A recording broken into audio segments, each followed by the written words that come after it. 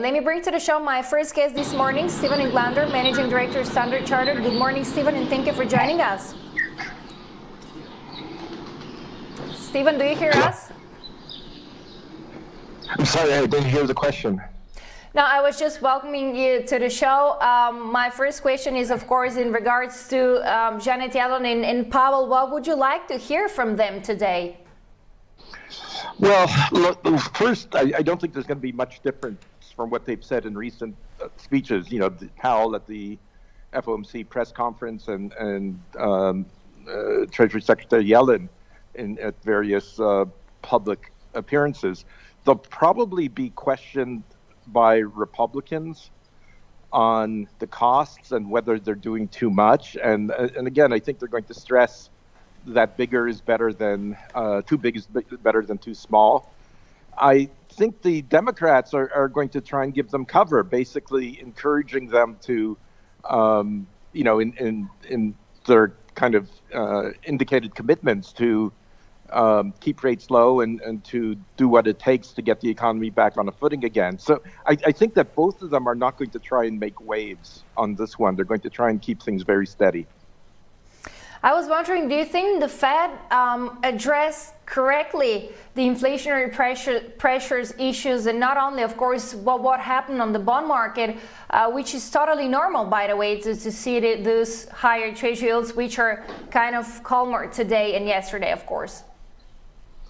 Look, I, I think they they succeeded partially. Um, it's very unclear. I mean, the um, you know what we're seeing in the foreign exchange market is is both EM and G10 FX selling off. Normally, not a sign of dovishness. So I think there's a little bit of nervousness in the market about whether um, the Fed's numbers um, all add up. Um, you know, I, so I, I'd give them a six out of ten um, or Powell is six out of ten for for their performance um, or for their ability to convince the market. But I think there's still a lot of skepticism there. So, are you from the part? Um, how can I say the financial community is pretty divided today? So, are you from from the guys that are um, pretty concerned about um, inflationary pressures to the upside? Look, you know, our forecast is that they hit 2.1 and kind of stay there. That's our baseline. The um, forecast, I mean, the, the risk, I think, are, are kind of to the upside. Um, you know, they are counting on the Phillips curve being extremely flat. And, you know, after taking very small fiscal steps, you know, over the past 30 years, we're taking a colossal fiscal step. And there's a lot of uncertainty. I, I don't think you can extrapolate from the experience of the last 25 years to where we are now. It's like using a, a map of Rome to guide yourself in, in London. It's, uh, you know, it's not very reliable. I was wondering. I was also, of course, reporting on Biden uh, Biden's three trillion um, economic plan. Do you think that um, at this point the U.S. economy um, is kind of mm, inundated uh, with liquidity?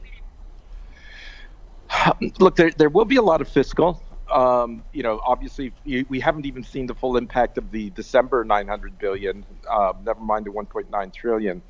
I, you know, one thing you have to keep in mind is that the the whatever the number is for the infrastructure plan, three trillion or, or you know the latest one, um, that that one is spread out over a couple of years. So the 1.9 trillion will be largely spent in six months. The three trillion is is I think you know is meant to be longer term projects, although we have to see how that plan evolves, since the it seems a lot of Democrats want to have a very broad definition of infrastructure investment, um, you know, which could could include a lot of items not conventionally viewed as investment.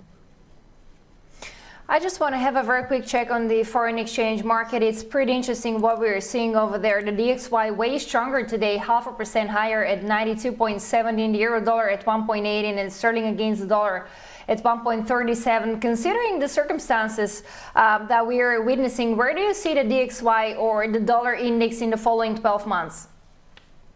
Well, we distinguish between the near term and, and, and, the medium term. I think in the near term, we expect a very strong U.S. reopening.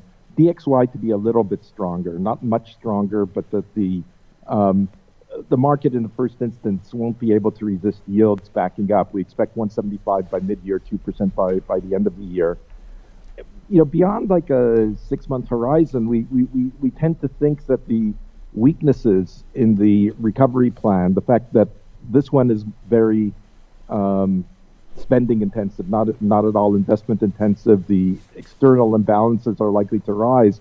We we see dollar weakness in the medium to long term, but we're cautious about the short term because we don't, you know, the market is, has a very hard time resisting uh, buying dollars when rates go up. So we could see a little bit. I wouldn't say enormous dollar strength in the next couple of months.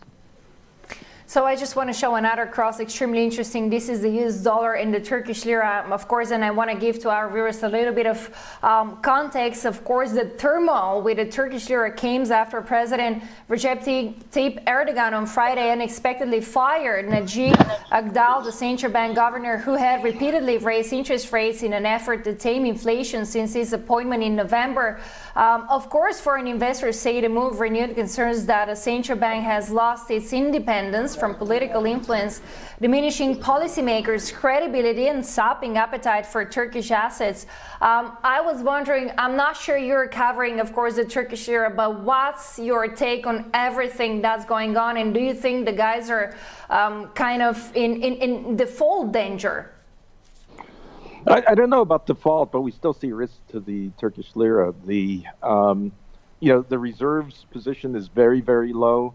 Um, the market clearly wants to see higher rates and more of a, a risk premium, and that the looks like the central bank isn't going to be giving. Um, we don't see much hope for Turkish tourism in the middle of the year, which could offset the, the impact of higher oil prices. So, you know, the risks are still to the downside in our view. So it, it, how can I say it's not a currency that you're looking at at all? Sorry? It's not a currency cross that you're looking at all. It's not a, you know, we're not looking to buy Turkish lira, that's for sure. All right. Thank you very much. Steven Englander, uh, Standard Chartered. Thank you for joining us. You.